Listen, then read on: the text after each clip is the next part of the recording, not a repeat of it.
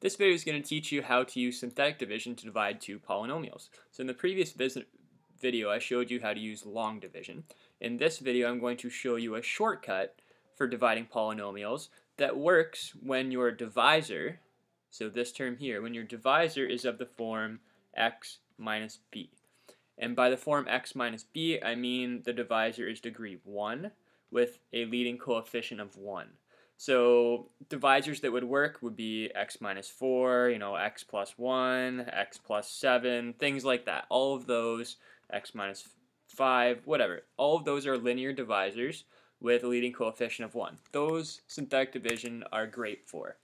If you have a divisor that's higher than degree 1, so if we're dividing by like x squared plus 2 or x squared plus x minus 1, something like that, or where the leading coefficient isn't 1, like we're dividing by 2x minus 1.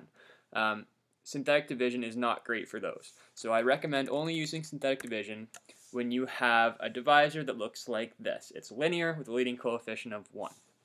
Okay, since that's what we have here, let me show you how synthetic division works. So you start by remembering the rules from long division. So I'm just going to flash them on the screen quickly.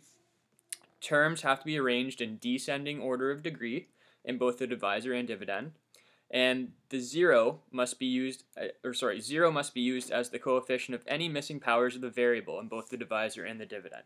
So um, when we're talking about synthetic division, we're really just looking at the dividend for these two rules because we know our divisor is linear.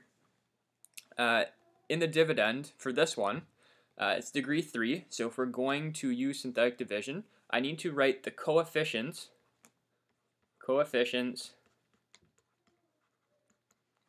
of the dividend in a row in this area here. So the coefficients of the dividend are 1, that's the first one.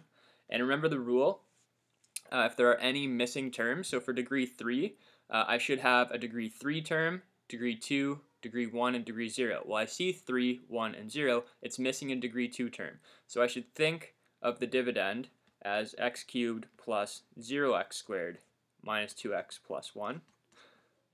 That means when I write my coefficients, my coefficients, I need to include a 0 for any missing terms. So my coefficients are 1, 0, negative 2, 1. So I write 1, 0, negative 2, 1. So I write all the coefficients of each term in my dividend here. And then I write the 0 of the divisor here. So by 0 of divisor, I mean for this divisor, what value of x would make this be equal to 0? Well, if x was 4, I would have 4 minus 4, which is 0. So 4 is the 0 of the divisor. So that's how I set it up. 0 of divisor here, coefficients of dividend here. And then what I'm going to do is I'm going to write an addition sign here so that I remember what operation I'm going to do. And I'm going to write a multiplication sign here to also remind me of the operation I'm going to do. And here's how it works. You start by bringing down the first term in the dividend and write it here, 1. Then we do the 0 multiplied by that answer in our quotient. So 4 times 1 is 4. Then I add. So I do 0 plus 4, that's 4. Then I repeat, do the multiplication again. 4 times 4, that's 16. Then I add, negative 2 plus 16, that's 14.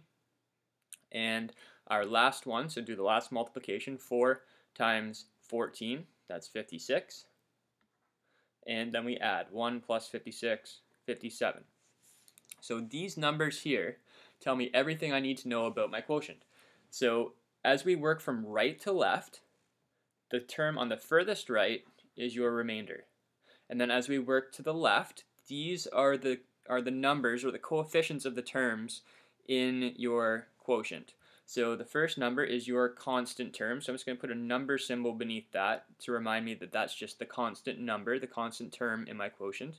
And then, so that's the degree 0 term. So this is the degree 1 term. So that's my coefficient of x. And this is my degree 2 term. So I'm going to put x squared beneath that. So basically my quotient is 1x squared plus 4x plus 14. And then there is a remainder of 57. So I can write my final answer uh, either in quotient form. So quotient form would be x cubed minus 2x plus 1 over the divisor of x minus 4 equals the quotient, which is 1x squared plus 4x plus 14 plus the remainder over the divisor of x minus 4. That's quotient form. The other form would be uh, the multiplication statement. So x cubed minus 2x plus 1 is equal to the divisor x minus 4 times the quotient x squared plus 4x plus 14 plus the remainder of 57. And we could use this statement to actually check the division. If we multiply it out, we should get an expression equal to x cubed minus 2x plus 1. So that's how synthetic division works. Make sure you hit the subscribe button and go to jensenmath.ca for all of the practice questions that go along with this.